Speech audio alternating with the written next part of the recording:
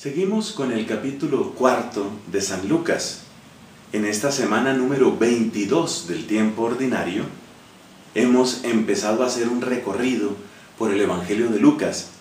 Y aquellos de ustedes que asisten diariamente a la Santa Misa o que todos los días hacen su oración con las lecturas de la Misa del día, tienen una oportunidad muy grande y es seguir con una secuencia perfectamente preparada por nuestra iglesia, seguir el recorrido del Evangelio de Lucas. Nos va a acompañar desde esta semana 22 hasta terminar el año litúrgico, en la semana número 34. ¿Y qué es lo que aparece en este momento?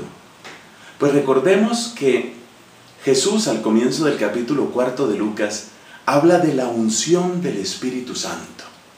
Unción que Él ha recibido para evangelizar a los pobres y para anunciar la buena nueva.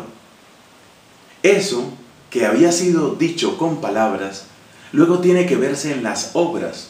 Y así en el Evangelio del día de ayer encontrábamos a Cristo en directa confrontación con el poder de las tinieblas.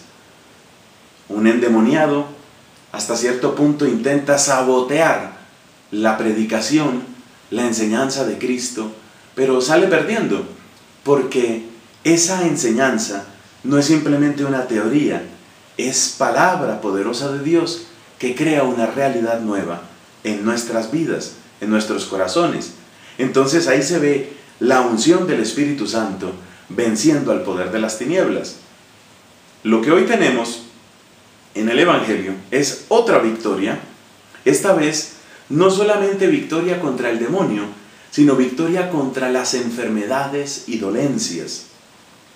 Es verdad que de varios de los enfermos salían también demonios, observación que hace el evangelista Lucas y que tiene que llamarnos la atención, porque según lo que nos cuenta la Biblia, este Lucas era un médico.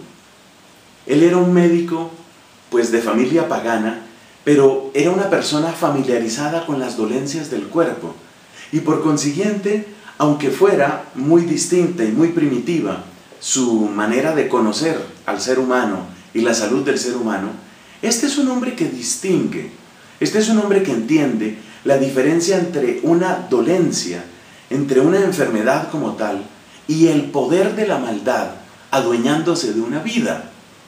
Esto lo aclaro porque por ahí andan algunos diciendo que esos endemoniados que aparecen en la Biblia en realidad eran enfermos mentales. No, Señor. La Biblia distingue claramente lo que es enfermedad y lo que es posesión diabólica, lo que es una dolencia y lo que es una infestación o una agresión de parte del demonio. Pero, y aquí viene la segunda aclaración, en algunas ocasiones las dos cosas se juntan, porque la persona que se encuentra debilitada en su cuerpo o en su cerebro o en su mente, quizás puede tener un poco más abierta la puerta, un poco más descuidada la aduana de su conciencia y puede dar paso para que se ofenda el nombre de Dios o para que el demonio haga de las suyas. Pero Lucas es muy claro, Lucas nos presenta a Cristo como vencedor de las dos cosas. Cristo vence sobre las dolencias del cuerpo y Cristo vence al poder de las tinieblas. Y lo que tenemos que pedirle es que su victoria sea también completa en nosotros, para que brille esa imagen de Dios que nosotros somos y para que así aparezca la gloria de su nombre.